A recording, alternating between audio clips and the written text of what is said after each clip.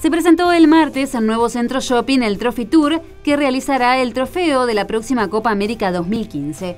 La Copa ya fue visitada por más de 43.500 hinchas y estará en Uruguay hasta el domingo 8 de marzo para que los uruguayos puedan tomarse fotografías y tener la oportunidad de tocar la Copa. Los embajadores de esta iniciativa de Mastercard y Banco Santander son Antonio Pacheco y Álvaro Recoba, quienes estuvieron presentes en el lanzamiento.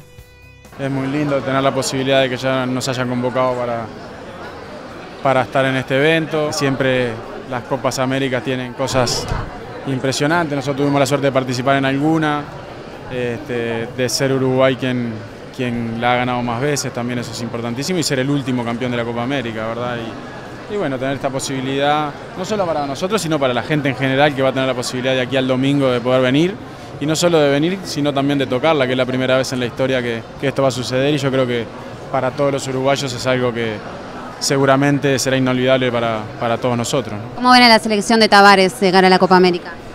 Bien, realmente han tenido los últimos tiempos muy buenos campeonatos, un, proceso que, que está yendo realmente muy bien y seguramente va a ser protagonista como lo ha, sido en los últimos campeonatos. Más allá de, todo, de ser los dos primeros que la tocamos, si se logra llegar al, récord, van a decir, bueno, el récord que se logró arrancó el Tony en chino, eh, y así que bueno, ah, ya de paso pasamos una, digamos, hacemos un poquito de publicidad en el sentido que es hasta el domingo a las 10 de la noche que pueden venir a tocar la, eh, la Copa América, que es la verdad, es un, es un sueño.